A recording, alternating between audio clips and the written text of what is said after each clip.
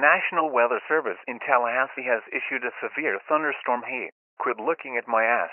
Don't you know how fucking serious this shit is? This isn't your grandmother's bullshit sunshine storm. This is a severe thunderstorm warning. I can see you don't give a grandma saggy ass, so I'll keep going. Until 7:30 a.m. You know what? I hope you know how goddamn motherfucking serious this storm is. These bitch winds are greater than 60 miles per hour. They could take the pubic hair right off of your penis. And guess what else? This little fucker is gonna produce a tornado. Your car is going to look like the Undertaker just struck your car with his fake magic powers.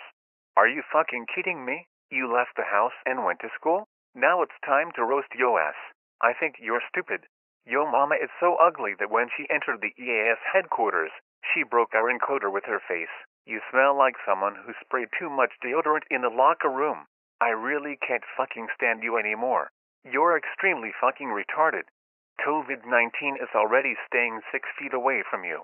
You seem like an individual who was very disrespectful at funerals.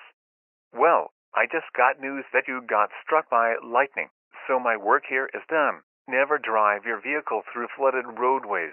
Most flood deaths occur in vehicles. You suck.